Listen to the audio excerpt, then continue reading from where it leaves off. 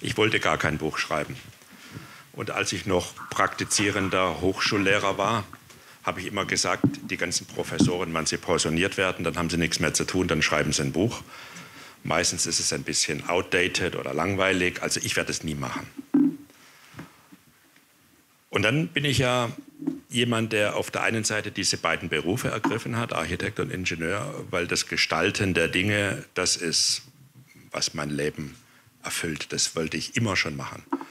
Das Engineering braucht man dazu, um die Gestaltungsaspekte besser fundieren zu können und sie nicht in irgendeine Willkürlichkeit der Formfindung hineingeraten zu lassen. Und so war dieses Mal bin ich der Ingenieur, mal bin ich der Architekt, der Inhalt meines Lebens. Und was wir da gemacht haben, das waren ja von Türscharnieren über die Weihnachtsdekoration von Hermes.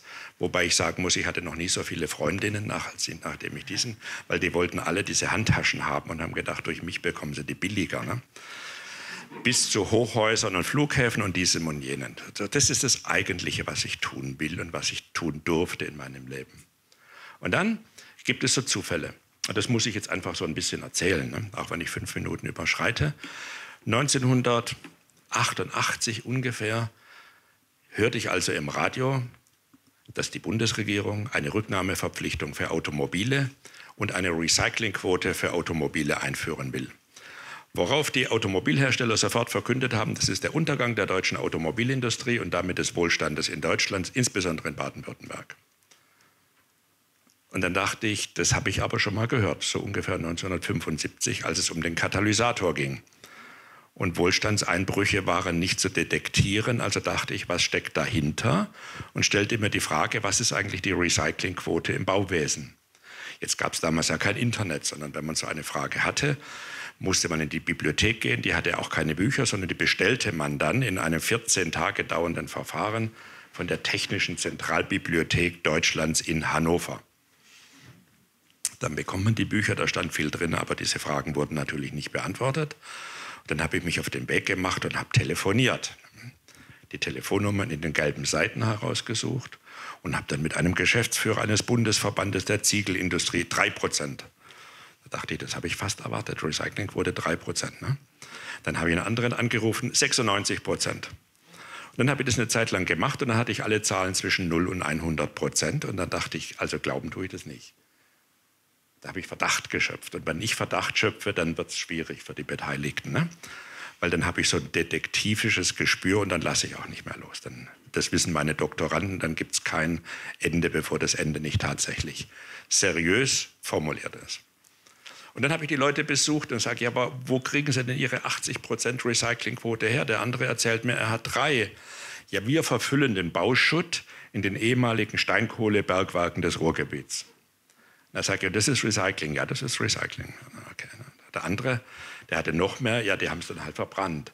Thermisches Recycling, das kam damals auf. Da sage ich also etwas verbrennen und damit aus den Kreisläufen der Natur herausnehmen und dann auch noch Abgase in die Umwelt emittieren, das ist für Sie was Positives. Und deshalb nennen Sie es Recycling. Aber es ist ja kein Cycling, es ist ja kein Kreislauf. Ne? Ja, aber das ist so definiert und deshalb dürfen wir das so sagen. Und dann dachte ich, eigentlich ist es doch so, dass das Bauwesen mehr Material verbraucht als alle anderen. Ne? Mittlerweile wissen wir, 60 Prozent der Ressourcen, 80 Prozent der mineralischen Ressourcen werden durch das Bauwesen verarbeitet.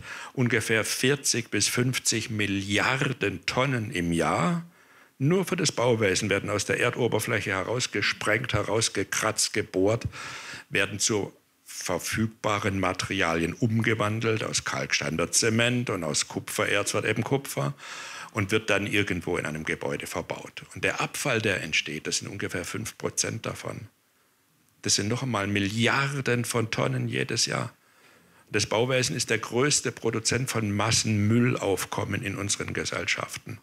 Und nachdem ich das so langsam gemerkt habe, dachte ich, okay, die Frage des Designs und der Gestaltung ist unheimlich wichtig, aber ich kann das eigentlich nur dann verantwortungsvoll machen, wenn ich diese Dinge verstehe. Und dann war ich mittendrin. Dann habe ich die erste Vorlesung wahrscheinlich in der Welt gehalten, in Hannover, da bin ich gerade junger Professor geworden, ein ganzes Semester durch recyclinggerechte Architektur. Dann haben die Kollegen gesagt, der man is mad. Ne?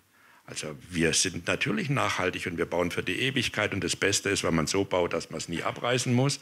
Aber ich habe gesagt, wenn ihr aus dem Fenster guckt, was da alles so abgerissen wurde und auch mit Recht, dann sollte man es doch so bauen, dass man es sinnvoll wiederverwenden kann, ohne den Planeten auszuplündern. Das war dann 1992 ungefähr dann kam ja die Passivhauswelle auf. Ne? Und dann habe ich mir unter diesem recyclinggerechten Konstruieren Gedanken gemacht, wie geht es jetzt mit diesen Wärmedämmverbundsystemen? Und habe alsbald festgestellt, das geht ja gar nicht. Und dann habe ich etwas getan, was ich immer tue. Ich habe nämlich das Gegenteil formuliert. Ich habe gesagt, also wenn die alle Passivhäuser bauen, dann baue ich ein Aktivhaus. Und um zu sagen, um was es wirklich geht, es geht nicht darum, dass wir Energie einsparen müssen. Das ist ja eine Irreleitung der Bevölkerung. Wir haben kein Energieproblem. Die Erde, die Sonne strahlt 10.000 Mal mehr Energie auf die Erde ein, als die Menschen brauchen, für alle Funktionalitäten. Dann haben sie Geothermie, dann haben sie Windenergie, dann haben sie was weiß ich. Sie haben Energie ohne Ende. Das sogenannte Energieproblem ist ein, ist ein wirtschaftsstrategisches Problem dass wir nämlich Energie bereitstellen, nicht erzeugen, weil Energie kann man nicht erzeugen, Energie bereitstellen auf der Basis von Verbrennungsprozessen von fossilen Materialien. Das ist unser Problem. Weil wir durch die Abgase, die dabei entstehen, das Global Warming zu ungefähr 75 Prozent bewirken und weil wir in eine wirtschaftliche Abhängigkeit geraten von den Lieferstaaten. Das ist der Punkt. Also habe ich gesagt, wenn ich kein Energieproblem als solches habe, weil ich keine Fossilien verbrenne, dann tue ich doch genau das Richtige. Ich baue nämlich ein Haus, das habe ich dann gemacht, das erste Aktivhaus der Welt steht in Stuttgart, ohne Schornstein. Ein Null-Emissionshaus, zu 95 Prozent recycelbar, minimalgewichtig. Also was will ich mehr? So, das war dann der nächste Schritt. Und dann kamen viele solche Schritte und dann kam die Pandemie. Und da habe ich den letzten wissenschaftlichen Aufsatz meiner Karriere geschrieben, so als Professor, aber von meinen zwischen 20 und 30 Doktoranden, die immer so um mich herum schwirrten, die waren natürlich alle nicht da. Dann hatte ich keine Wasserträger, ne? dann musste ich also alles selber recherchieren. Und dann war ich fertig und ich war stolz wie Oskar, weil ich ein wirklich tolles Thema auf sechs Seiten konzentriert hatte. Und bevor ich das dann wegschickte an den Verlag, dachte ich, aber diese Zahl die erzählst du die ganze Zeit schon, aber du hast sie nie hinterfragt. Und deinen Doktoranden sagst du immer, man muss jede Zahl hinterfragen, sonst darf man sie nicht glauben.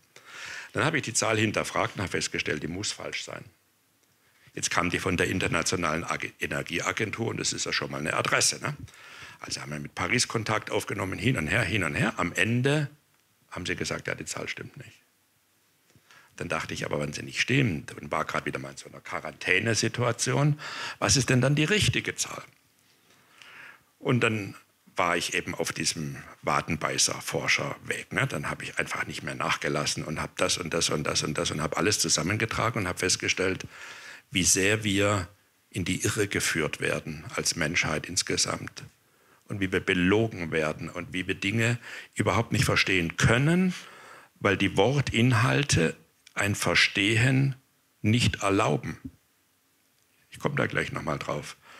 Und dann habe ich gesagt, okay, das schreibst du jetzt für deine Schüler auf. Aufgeschrieben, aufgeschrieben, aufgeschrieben. Dann waren es 30 Seiten, dann waren es 80 Seiten, dann waren es 150 Seiten. Es war immer noch Pandemie. Dann habe ich das dem Herrn Heinlein gezeigt und habe gesagt, Herr Heinlein, das ist jetzt für die Doktoranden. Also irgendwie so. Da sagt er, das ist eine Sensation. Also vorhin haben Sie gesagt, das Buch sei interessant. Da bin ich natürlich zusammengefahren. Das, ist, das Buch ist nicht interessant, das Buch ist sensationell. Da sagt er, da holen wir gleich mal die Petra Kidaisch und da machen wir ein Buch draus. Jetzt war das aber nur eine Bestandsaufnahme. Ne? Ausgehen muss man von dem, was ist. Und dann sagten die beiden natürlich, aber dann werden ja die Leute fragen, wie geht's weiter? Da musst du schon noch ein zweites Buch schreiben. Dann sage ich ja, aber dieses Wie geht's weiter mündet letztlich in einer fundamentalen gesellschaftlichen Kritik. Ja, da muss ein drittes Buch schreiben. Dann habe ich den größten Fehler der letzten 20 Jahre gemacht. Ich habe nämlich gesagt, okay, dann mache ich das. Und das erste Buch ist draußen. Es ist eine Bestandsaufnahme und es ist eine Klärung der Wortinhalte. Und manchmal ist diese Klärung total trivial, weil man sagt, das muss man jetzt auch nicht unbedingt klären. Und manchmal ist sie aber auch hochinteressant. Ne? Also beispielsweise, Warum steht das Pariser Klimaschutzabkommen, da, warum steht da 1,5 Grad? Sie brauchen jetzt nicht traurig sein, wenn Sie es nicht wissen. So gut wie niemand weiß es. Das Pariser Klimaschutzabkommen hat auch niemand gelesen, bin ich ganz sicher.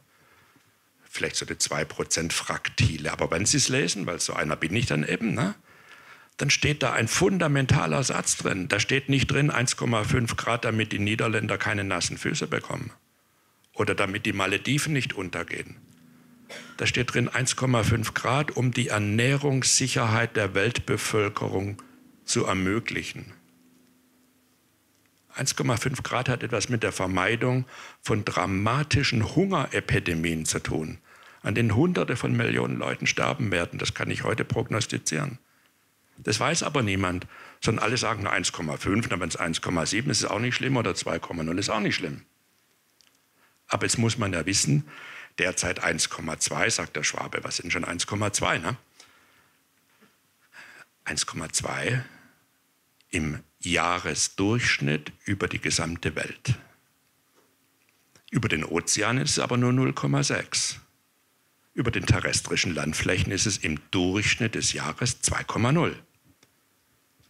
Wie James F. Black 1977 schon vorausgesagt hat, sein Report wurde dann aber von den Chefs von ExxonMobil in den Safe gelegt. Er bekam Redeverbot.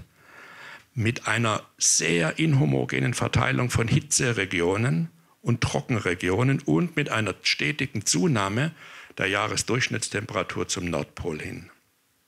Und wenn Sie jetzt schauen, dann haben Sie im Norden Kanadas, im Norden Sibiriens eine Jahresdurchschnittstemperaturveränderung von 6 bis 8 Grad.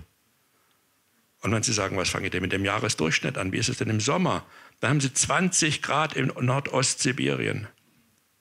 20 Grad Erwärmung gegenüber der Zeit vor 150 Jahren. Das ist aber kein, kein Effekt, den jetzt die wenigen Leute in Sibirien erzeugt haben oder der für alle bösen Taten zuständige Herr Putin, zumindest nach der Meinung der deutschen Gesellschaft. Das sind Phänomene, die durch atmosphärische Strömungen und ähnliches entstehen.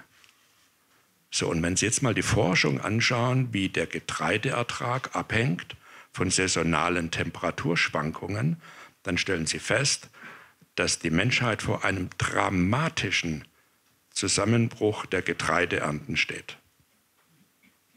Das ist der Punkt, um den es in der Ukraine auch geht.